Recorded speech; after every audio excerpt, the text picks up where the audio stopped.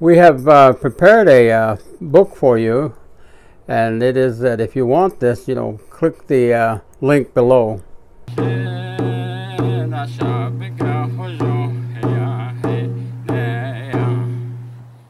As the ne, when you grow are growing up among your people, everyone always has uh, an interest in what you're learning and the um, time will come when you might be learning things that are not right.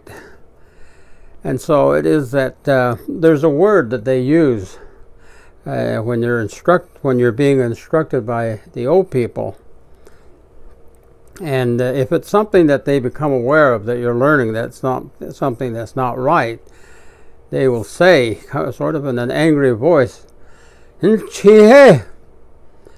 so that word chihe means uh, in a lot of different ways. In our language, it would mean the uh, idea of never being naive. In other words, don't be easily swayed. Don't be easily swindled. Don't be easily taken advantage of.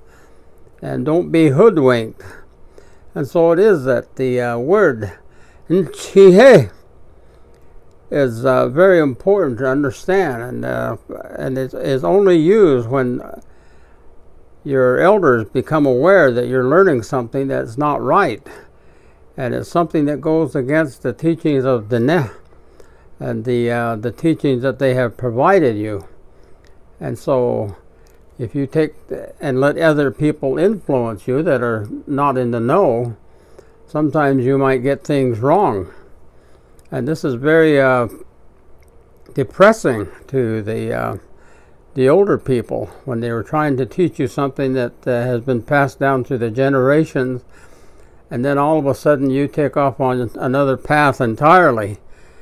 They uh, get uh, disappointed in you and they say and then they tell you the correct uh, way to look at things and to reevaluate and so it is that uh, we learn in the traditional way that we don't listen to things that don't uh, sound correct or true.